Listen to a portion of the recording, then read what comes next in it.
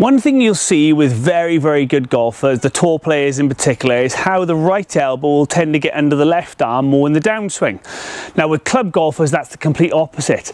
We tend to see as you start down that this sort of action, this elbow stays on top, this elbow stays underneath, the left arm stays lower.